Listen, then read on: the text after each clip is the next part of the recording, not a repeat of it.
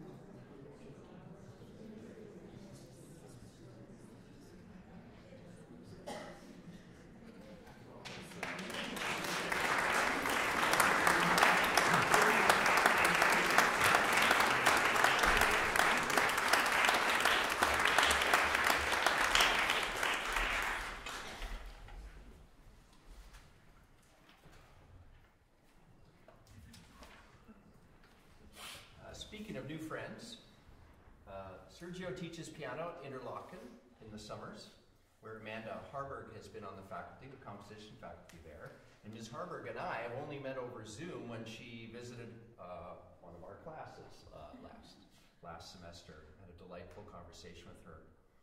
Um, so her music is gaining some serious traction all over the place. Uh, you said she had three performances just this weekend of, of her music.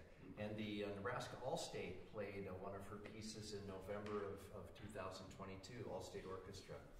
Um, we're thrilled to perhaps be giving the Nebraska premiere of the Philadelphia Suite uh, for viola and orchestra, and as they might say in Philadelphia, you're gonna love it.